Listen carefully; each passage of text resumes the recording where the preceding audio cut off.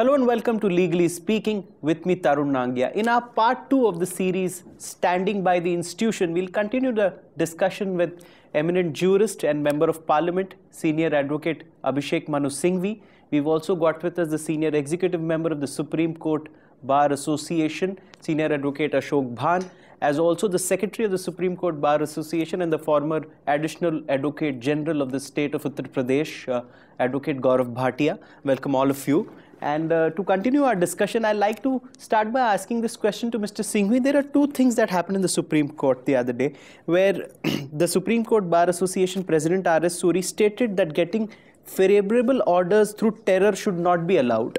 A. Second, the court then passed the order that the Chief Justice of India is the master of the roster and any order passed by the judge allocating a matter to any bench will not hold field. Now, sir, through your wisdom and experience, and you've spent such a long time in the courts, so have you seen ever this master of the roster concept being transgressed ever before? Has it happened ever before? No, it has uh, never happened before, not only in the Supreme Court, but barring an exceptional one or two cases, not in all the various diverse high courts in our 70 year history, which is a very rich history of judicial activism.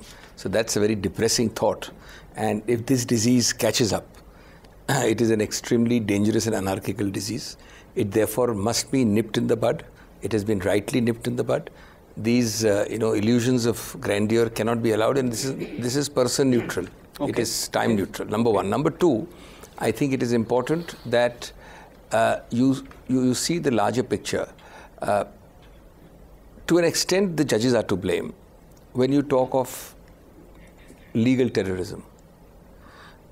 Let me ask you, uh, Mr. Nangia, if you are a reasonable advocate who argues on logic, on persuasion, tries to make your point forcefully, but then gives way beyond a limit, and I am a person who argues by the methodology of legal terrorism, is it not sending not only a bad signal, but actually encouraging my brand of lawyering yes. over your brand? So, what message by allowing me to get away with it?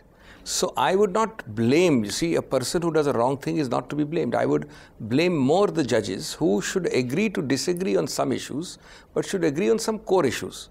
And those core issues on which they agree to agree should include one of the issues should be that at least if you go on a, and I'm not talking about any particular person, and especially I think where lawyer clients are involved, or lawyers become clients, their, their plethora of armory is very large, but none is used. On a graded hierarchy, uh, uh, starts from warning, reprimand, suspension of license, can't practice in a particular category, and of course jail. And there are many more.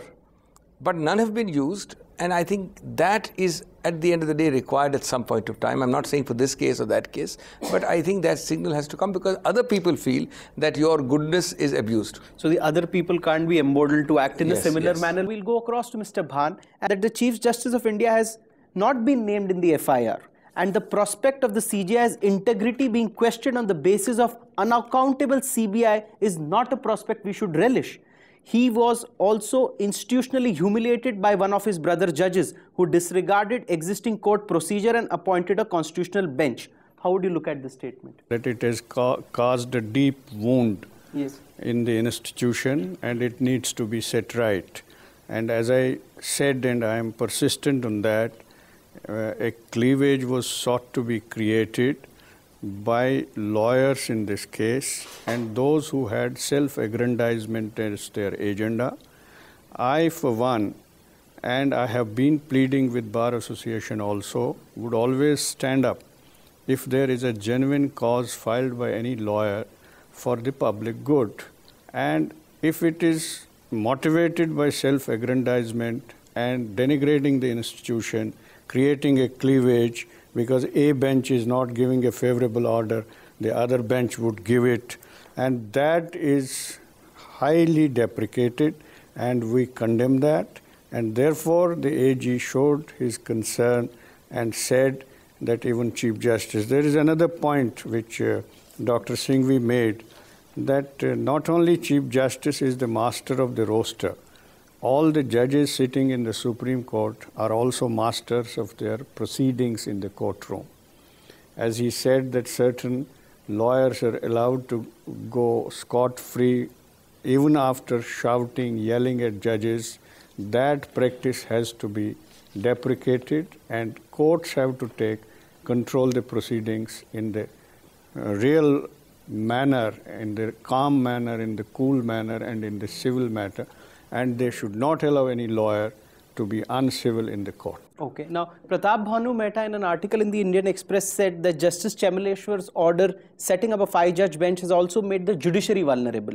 Surely there were better ways of securing the recusal of a Chief Justice and setting up a bench in a way that did not depart from existing court procedure or humiliate the Chief Justice. You've made this point before, Mr. Singhvi, but do you think there would have been a ways where, you know, in, you know, you could have had a chamber hearing? What was the way out? In your own wisdom, what was the way out? देखिए, I I think I can say this. I would not normally say. I've tweeted about it the first day.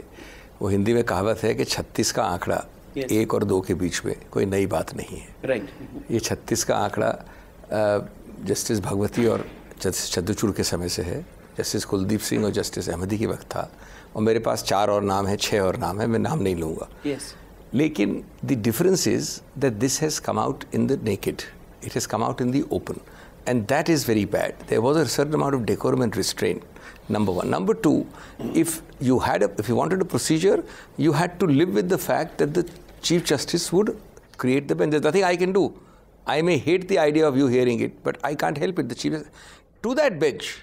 Once the bench is constituted, you can go and make arguments of recusal if you like, and that bench will then take a view. After that, you have, if that bench decides against you, you have either a method of going in a review or a curative. I mean, this is the way it is. The Supreme Court, they say, is final because it is, it is right because it is final. It is not final because it is right. There has to be finality somewhere. And we live by that finality. It's a public policy in itself. So this is where maturity, statesmanship, and restraint is required.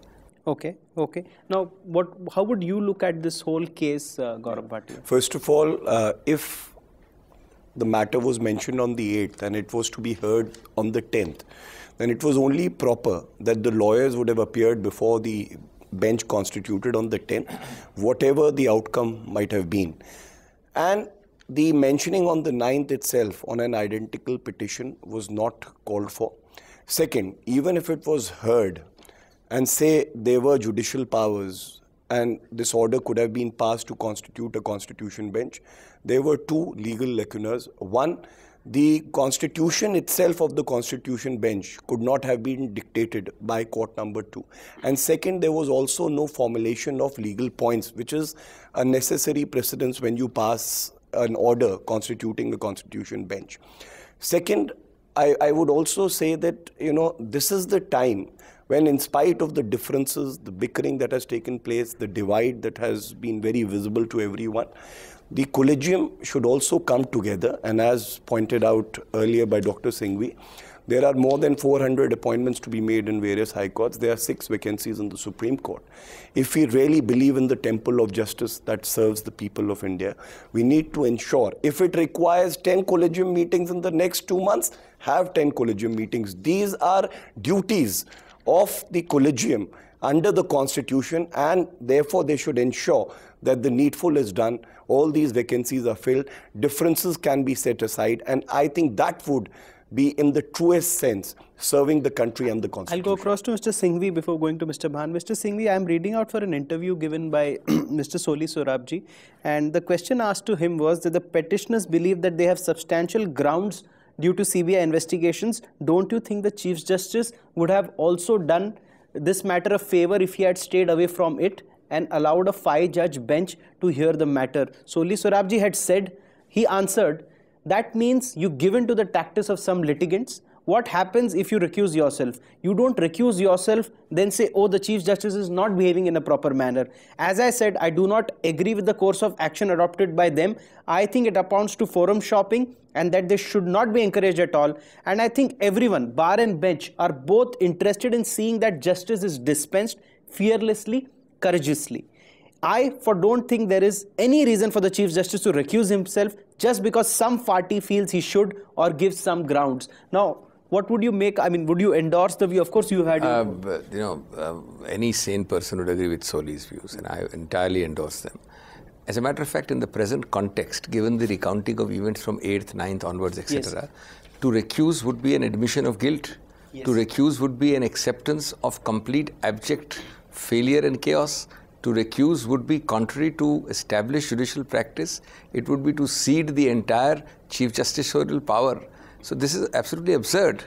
In fact, you know, I have always believed, this is stepping back from this case, I have believed in the theory of exaggerated bias. Yes. Judges tend to be, you know, very, very prim and proper and say, oh, you've made an allegation of recusal, I will not hear the matter, even though I have no conflict of interest. Yes. There is a very nice joke in the old days with Justice, Chief Justice Beaumont yes. uh, of Bombay, yes. sitting in a division bench, and after hearing a matter the whole day, they adjourned it overnight. And next day when they came, his brother judge, who was an Indian, said, uh, you know, low whisper to him, he said, uh, Chief, uh, uh, shall we hear this? Uh, I received a sack of potatoes. Yes. One of the parties was a potato merchant. So he didn't reply. Chief didn't reply. He kept on hearing the matter. Matter was reserved. After one month, the order came.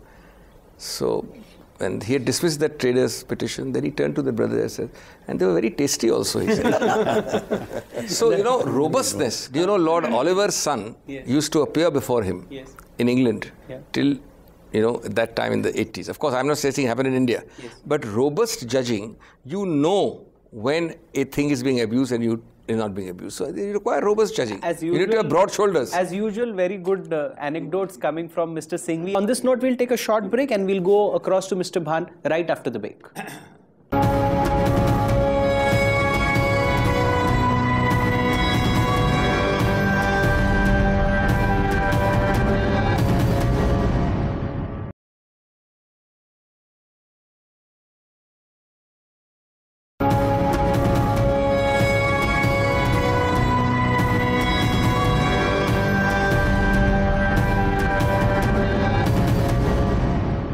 Welcome back. I'll go across to Mr. Bhan. And uh, so now we're moving on with so Soli Sorabji's interview. So he was asked this question, what would have been the better course of action for petitioners? Should the Chief Justice have stayed a mile away from these petitions? He said it's a matter best left to the court. Otherwise, it would be very easy to get a person to recuse himself by filing one petition after another. You must trust the Chief Justice. If you don't trust the head of the judiciary, what happens? I don't agree with these things. I find it very regrettable. So, if, if I- somebody of the eminence of Soli in, in, in principle, I endorse all, all his views, but uh, two points I wish to make. Yes. A, that uh, Chief Justice's authority on administrative side and being uh, master of the roster was under challenge. Yes. It had to be reinforced by a constitution bench judicial order. Yes. That situation should have been, should not have come. That came because the forum shopping was done. Yes. B, that when he constituted the bench to hear the matter, he recused himself, he did not include himself. So, therefore, he kept the dignity, even with the uh, false allegation against him, he did not become part of the bench, which he could have. He did not become. Only thing he became part of was to create a constitution bench and set right the public perception about his authority, whether he is the master of roster or any other judge can dictate terms for Okay. um, constituting the Now- bench. now he made it very clear judicially also now and administratively I that take your is the point, and, and now uh, we will go to a part of the discussion where we'll give about one, one and a half, two minutes to each of our panelists to sum up because the issue is sensitive. And to sum up this discussion, we'll start with Gaurav Bhatia and then go to Mr. Singhvi and then end, end with Mr. Bhan. Gaurav Bhatia, if you could sum up the discussion on what are the takeaways from this episode for the judiciary and the institution. First of all, uh, I would say that yes, it has left a scar, an ugly scar on the institution. But if you ask me, looking back also, the Supreme Court and the High Courts have the resilience, the credibility, the people who are manning their ability to redeem themselves. And why do I say that? Because the habeas corpus case is something that comes to my mind. People started doubting the Supreme Court. But after that, you know, there was a conscious effort, not just from the bench, but also from the bar, to ensure that the rights of the people are upheld. And there have been landmark judgments after that. So, even recently, right to privacy judgment. Therefore, yes, uh, there are lessons to be learned from this And episode. what are those? One, two, three? I, I will tell you. First of all, no person should be allowed to browbeat. there should be equality before law. And third, even with your differences, you have to serve the Constitution of India and you have to serve the people. These differences cannot come out, especially from the high constitutional authorities. The collegium system is a system uh, which has a lot of responsibility. And therefore, as I pointed out earlier also, now is the time to come together and to show that yes, lessons have been learned, and the ultimate goal is to serve the common people of the country. Okay. Mr. Singhvi, your takeaways. Well, this is, uh, there are many lessons, there are many takeaways. One, it's a near fatal blow, but then India and Indian institutions have recovered from seemingly irretrievable situations in the past. And in a sense, if one was to be a total optimist, sometimes you require a very, very bad negative thing to bring out the shine and glory. And you recover from it and you actually mend your ways. So I think that is the optimistic way of looking at it. Second, I think uh, there is to be a realization that unlike the 80s, till the 80s, from 80s onwards, the amount of work which the judges have taken upon themselves, either usurped or taken or interpreted to have been taken, is enormous and humongous. It is no more a luxury to be collegiate, it is a necessity. You cannot run the whole system without being collegiate, and collegiality requires a certain amount of consensus. They'll have to do it, it as an evil necessity, as an absolute necessity, but they have no option. It's not a question of having an option. So once they realize there's no option, they'll be forced to start functioning. Third, to the bar, it's an incomplete story. There should be a very, very clear, both a internal restraint mechanism. Lawyers have so many other ways of getting famous. Lawyers have so many other ways of doing well. And equally, the bench has to be united in the attitude towards the bar, the point which Gaurav made. And lastly, I think uh, you must press on with the work immediately to bring a sense of normalcy. It's very important to add the healing touch. The balm must be put even for pretenses to start looking like business as usual. And this sulking must stop. This longer term uh, disaffection must stop. The kutti must stop. Okay. Okay. Moving on to uh, Mr. Bhan, your closing comments. My closing comment would be that the Supreme Court, particularly, where we have been practicing for so many years, has been under attack for, uh, from various sides, from the political side, from the lawyer side, and from other sides also. Sometimes it has acted as a big leveler. When single chief election commissioner was there, T.N. Seshan, he had become almost a despot unto himself. And it was Supreme Court which leveled it and make him level-headed by appointing two more uh, commissioners in that. Likewise, when the Constitution Bench judgment came, striking down this uh, order of judicial commission, uh, a, a, a, unnecessary comment came from the political class, particularly led by a very senior advocate and minister, saying that this is tyranny of unelected. Yes. And see, they could not reply that because Supreme Court judges don't reply. Normally, they're not supposed to reply. And now, the busybody lawyers like this, who pursue their self interest through different mechanisms, I can vouch for, I said, the lawyers who have a public cause. There are certain good uh, institutions which are working for public cause, public interest litigation and most of the Supreme Court judgments have, uh, you know, uh, given us uh, uh some relief on pollution, on motor pollution and industrial pollution also in the past, and it is trying to do its best for the society. And these few individuals should not be and cannot be encouraged.